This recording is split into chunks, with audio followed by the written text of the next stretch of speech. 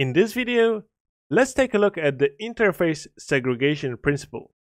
So the definition states that in the field of software engineering, the interface segregation principle ISP states that no client should be forced to depend on methods it does not use.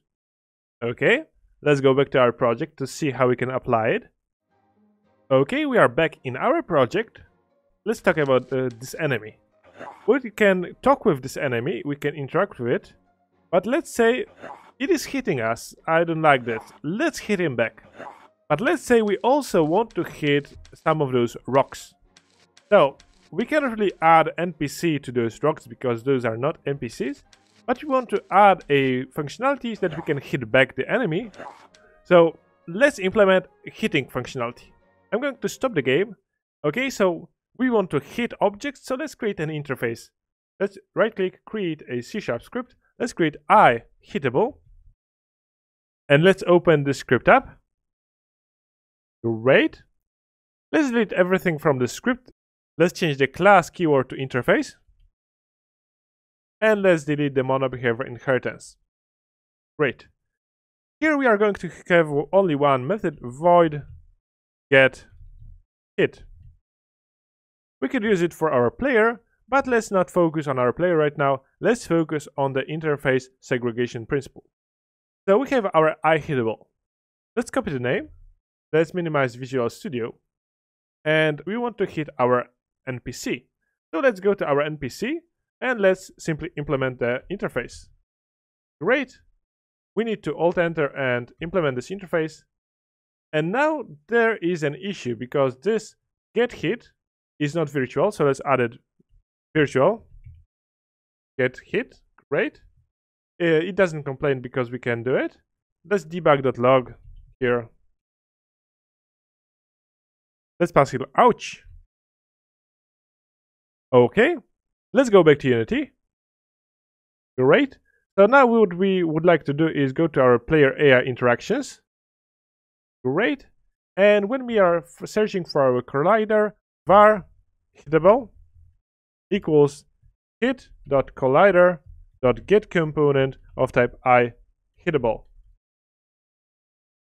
Okay, and if we have such uh, such object, we are going to ask hittable question mark dot get hit. So we are going to only call this get hit if hittable is not null. Great.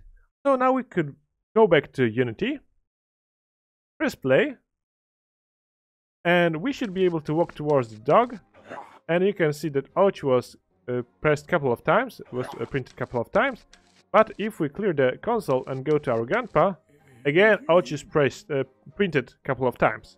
So we do not want that. So this is what uh, interface segregation principle stands for. So let's go back to NPC and let's delete this or cut it out, the get hit, and let's delete this inheritance from mono behavior from the NPC. And we only want to uh, the NPC enemy to implement this interface. So let's go to our NPC enemy and implement this I hittable. Alt enter, or actually we can paste what we have copied below. Okay, great. Okay, so now let's go back to Unity. Great. Let's press play. And we are going to walk towards our dog. Now we can get ouch from him. Now we can go back to our grandpa. And now we do not hit him. Okay, so that's basic idea that we want to uh, have in mind when we are implementing interfaces.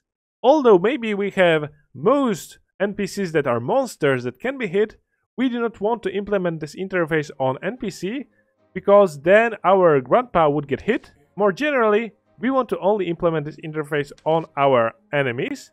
Or we could create another class, or maybe an abstract class of type enemy, NPC enemy, and our enemies would then extend NPC enemy instead of extending the NPC. So we would have NPC enemy, and this would be NPC enemy dog, for example, or I think it is called kobold, and it would have I hittable because NPC enemy would have I hittable, while NPC friendlies would not have I hittable.